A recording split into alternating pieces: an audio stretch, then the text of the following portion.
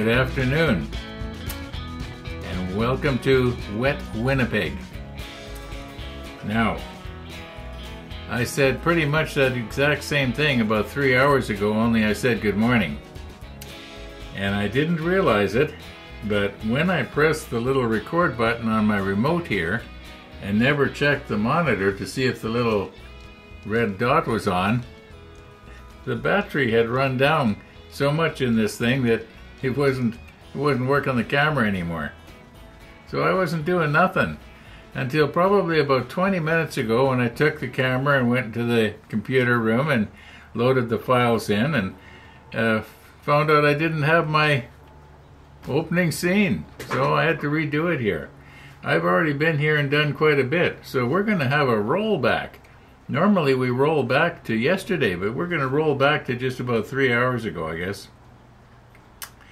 And uh, yeah, uh, as far as uh, the the sunrise this morning goes, well, it was uh, at first when I, have been up actually since five o'clock, and uh, when I first got up, I thought, oh, it might clear up, but it just got worse and worse and worse. So uh, what what sunrise there was, I'll, I'll tack it at the end of today's episode. It's not even a minute long. Uh, yeah, I won't be bike riding today, and not if it stays like this. Know, I'll have water thrown up my back from the back wheel, and probably somewhere else from the front wheel. So, uh, yeah, we're not going to be biking. This is probably going to be the first day since I started that I won't actually be able to get out, unless it dries up. Uh, I know it, it did stop there around uh, mid morning, and uh, I, there was actually kids outside playing. In fact, I think I talk about it while I'm working here. Uh, anyway, let's uh, roll back.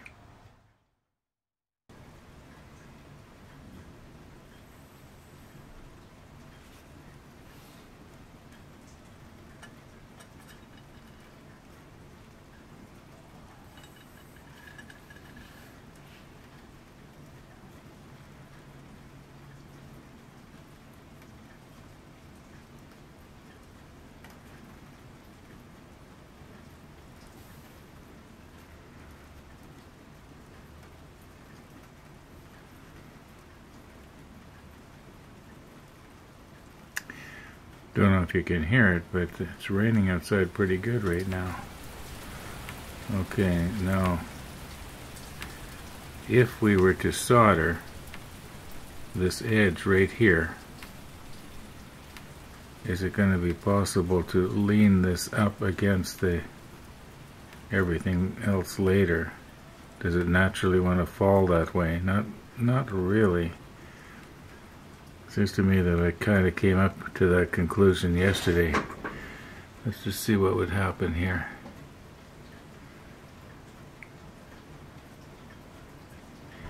Well, it, it... No, I don't think that's the way it's supposed to go. I think that it's supposed to go in like this somehow. Yeah, I wonder if maybe that's the way you would solder it. See if I can just sort of hold this down a little bit here. Carefully without bending anything. Have to get this twisted the right way around. I should maybe be using kind of like the helping hands sort of thing. Now, now something like that kind of works. Yeah, something like that kind of works. Now, naturally, it's not straight. But how would we then, let's, let's pretend that I have soldered this on like this. How are we going to get this plastic part mounted down in here afterwards? I wonder could it be maybe kind of wiggled up from the back and then forced in? now, there does appear to be no, there isn't. I thought for a while there, I thought there were, but it was just a reflection. I, I thought that there was sort of a, of a cross member running in the same orientation as this front plane is, uh, but it's not. It was just a reflection of the bottom of this. Um, I'm going to have to think about this for a little bit here. Okay, here's the latest. I'm going to use the Holder Dowmer here as a pointer. Now, um, you know, it, it could be this will be a little bit more understandable if it was standing up kind of in the right orientation here somehow. Um, put something like this so I can, I don't know if this is going to work or not. Okay, yeah. Yeah, checking the monitor there, we sort of can see what's going on. Okay, now you see this this brace right here that I'm that I'm just touching right now this cross member right here. Okay if I was to bend it out just a little bit make it kind of rounded okay you understand what I'm trying to say? Then it could go around the back right here. And then this the top of this that I'm touching right now comes almost exactly the, the right height for this. So I was thinking, what if I was to take, I won't do it right now because I don't have my really strong glasses on, but if I was to take and make a little a little notch right in the very top, that, that this, this cross brace will fit sort of fit down into and then this this cross brace here goes around the back of this. And, and of course we'd have to CA, CA everything. Uh, it would have to be, everything would have to be put on after this thing was painted, was painted black. And I think that this, this platform thing here, do we want to have it painted black as well? Or could it be maybe painted, uh, I do believe this is supposed to represent a platform, but I'm not sure. Um, you know, it could because it wouldn't be an antenna array facing straight up. It wouldn't be horizontal like this. Um, it do, it doesn't really matter. It could be painted the the number 77 like all the other platform things are.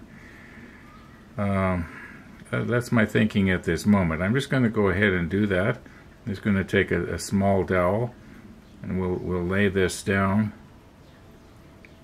very carefully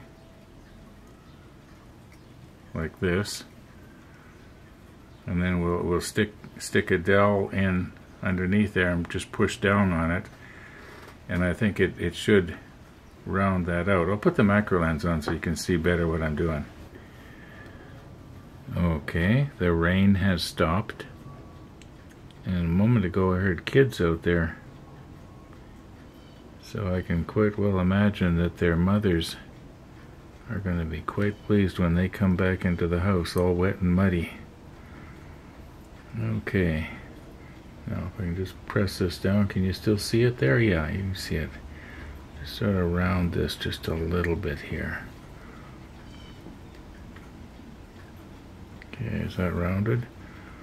pull this out of the way. Not very much. Not very much. Maybe I should use a smaller dowel. Maybe I should have something softer to be pushing down into, like a piece of rubber or something.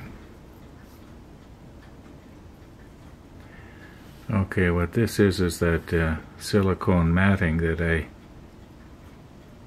was using for soldering.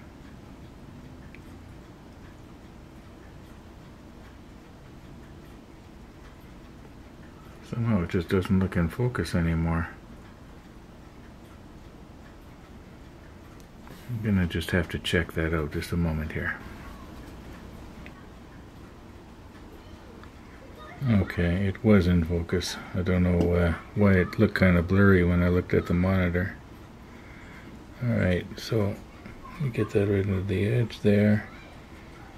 Now, it's kind of hard on my fingers, so I'm going to just use my the end of my pliers here and I can sort of just press down just a little bit here. Get the angle just right here so it doesn't slip off. Oops. I'm going to end up breaking that yet. Okay.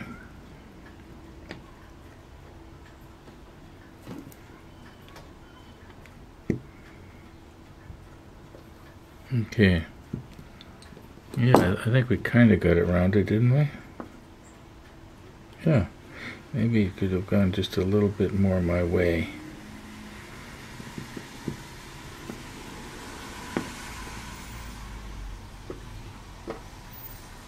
Let's have a little look now.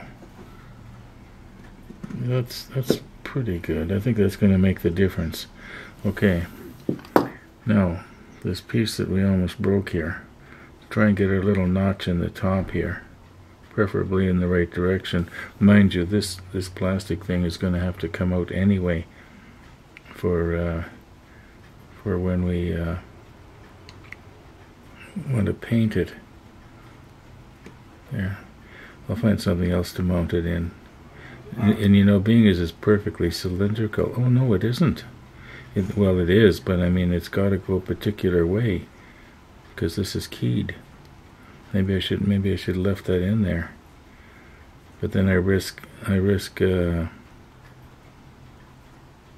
uh, bending this part here. Can't pick it up. Boy, it's busy outside today. Don't people go to work? Well, I'm not. They're probably all retired. I don't think so. Okay. Now, I'm going to have to recompose, obviously, but the idea will be to try and get the blade right in the dead center of that. I'm going to have to recompose myself here. That was an Amazon truck and he didn't have anything for me. Okay, um, you know, I, I was just realizing that the that the end of this stick sticks out the bottom there. So that means that when I push this down into something hard, um, like even even this tabletop is is yeah, I'm not going to bend this platform. So that's good. Okay, let's now let's recompose. Okay, I'm focused right on the very top of this of this uh, whatever it is, right there. And uh, my plan is to take my hobby knife here, and this does not have a new blade. So maybe I should have put in a new blade. I'm just going to have to try, try and get right over top of it here now. Get this adjusted right on the center.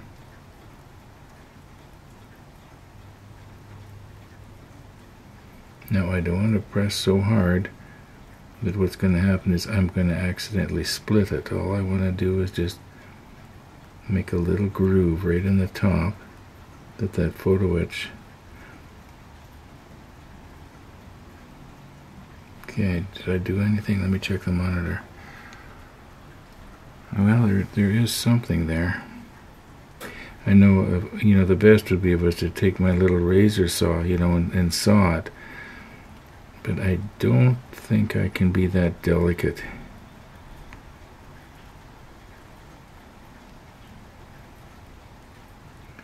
Well, I think we got a little bit of a groove in there. I think that when we try to put this part in here, let's just see if I can do it while we're on camera here.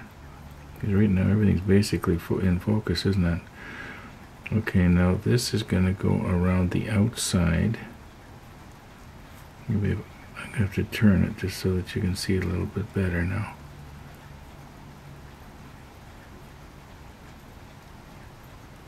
Yeah, the idea is, that, yeah, that, that should actually work. Now, it's going to want to swing away, but I can imagine that the part that my finger's holding right now, or was, is going to, uh, if that was CA glued in place. Okay, I think you see what I'm trying to do here.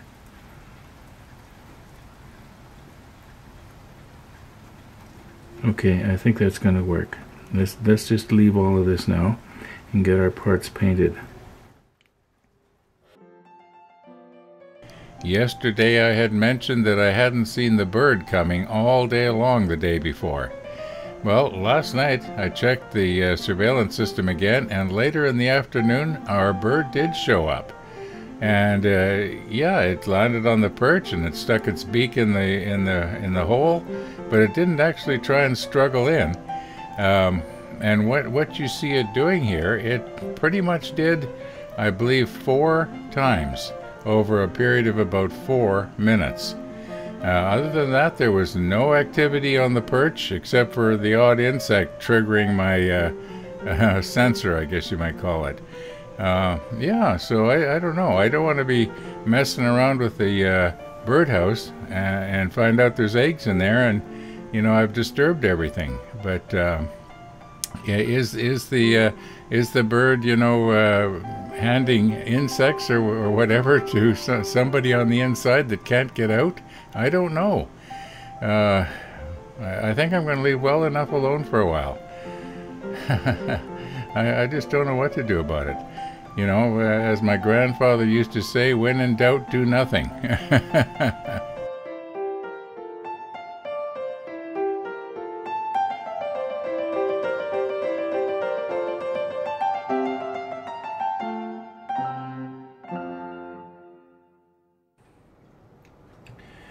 Okay, a little bit of time has passed here. I've got everything edited out that you saw so far.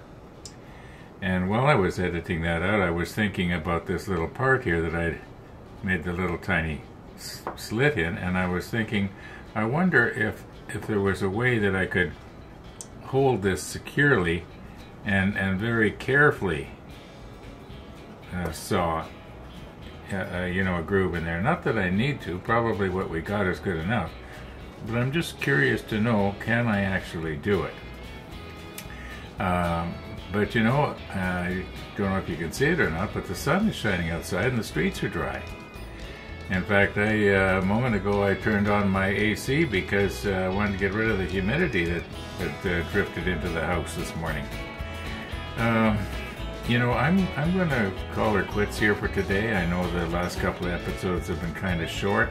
In fact, I think one of the viewers actually commented to that effect.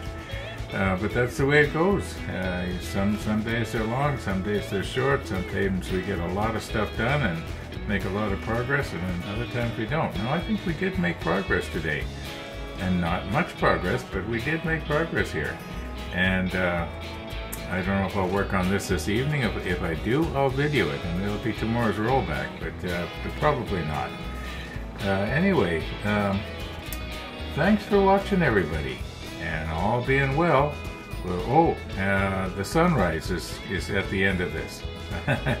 anyway, thanks for watching, and all being well, we'll see you tomorrow.